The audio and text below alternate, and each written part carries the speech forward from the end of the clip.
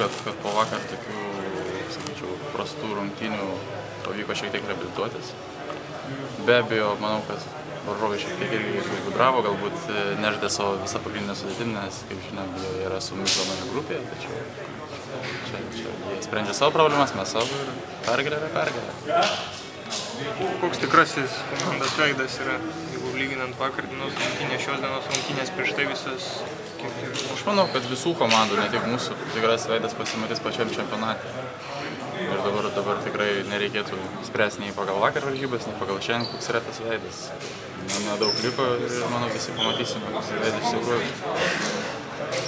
Pats pirmas iki rinktinė padėka ir labai laiminga keisti. Jo, tikrai žiauriai laimingas esu, vis tiek tai pirmas, pirmas kartas, kaip visada sakiau, kad patekti į rinktinę mano svajonę, tačiau šis toks jau svajonės įsipildymas. Dabar reikia keltis kitus tikslus, galbūt kažką laimėti ir taip toliau, esu tikrai laimingas. Galbūt jeigu būtum nepatekęs į liuktuką po tokio sezono, būtų šiek tiek buvę ir neteisingas. Na žinot, kaip negali sakyti teisinga, neteisinga, kadangi jeigu, jeigu tu visiškai, jeigu tu labai gerai žaidži sezoną, nors to nepasakyčiau, kad aš tai dariau ir, ir po to atvažiuoju į rinkinį ir prastai loši ir kiti atrodo daug geriau, tai tu nesi vis tiek vertas, nes treneriam reikia žiūrėti, kas yra geriausia formų tuo metu ir vežtis to, kas, kas tuo metu geriausias savo šalį. Bet aš nemanau, kad pagal sezono rezultatus galima spręsti, kas turi papulti rinkinį, kas ne.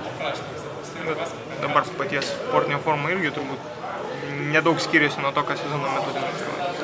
Kaip pats jau Stengiuosi, stengiuosi, aišku, kaip aš toksai, manau, šiek tiek jaučiausi, galbūt įsitempę šio turnyro metu, tiek, nes vis tiek žinau, kad su kažkuo reikia sveikinti, bet kaip ir sakau, kaip ir žaidėjų forma, taip ir komandos forma pasimatyti čempionate, tada svarbiausia.